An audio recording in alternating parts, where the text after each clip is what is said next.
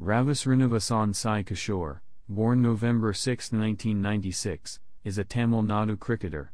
1. He made his List A debut for Tamil Nadu in the 2016-17 Vijay Hazare Trophy on March 12, 2017.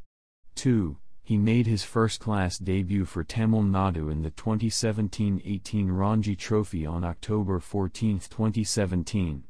3. He made his Twenty20 debut for Tamil Nadu in the 2017-18 Zonal T20 League on 8 January 2018 He was the leading wicket-taker for Tamil Nadu in the 2018-19 Ranji Trophy, with 22 dismissals in 6 matches.